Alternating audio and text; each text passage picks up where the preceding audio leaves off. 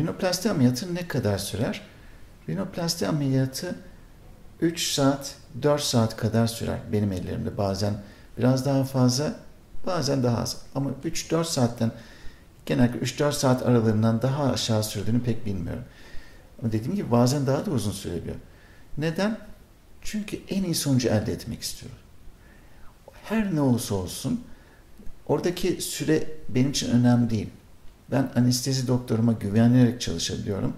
O hastamı sağlığını ön planda tutarak bütün riskleri yok etmeye çalışarak hastamı uyuturken ben o zaman gerekiyorsa bir yarım saat daha ekleyebiliyorum, bir saat daha ekleyebiliyorum. Çünkü o hastam hayatı boyunca aynaya baktıkça beni iyilikle ansın istiyorum. Çok ince bir iştir burun ameliyatı. Bir küçücük burunda bu kadar saat ne yapılıyor diye hepimiz bir zamanlar çok şaşırdık. Ama artık şaşırmıyorum. Ve biliyorum ki yıllar geçtikçe benim sürem daha kısalmadı. Daha çok ayrıntıyı görür oldum. Daha iyi bir sonuç elde etmeye çalışıyorum. Ve dediğim gibi 3-4 saat sürebilen bir ameliyattan söz ediyorum. Ama en iyi sonuç elde edebilmek için.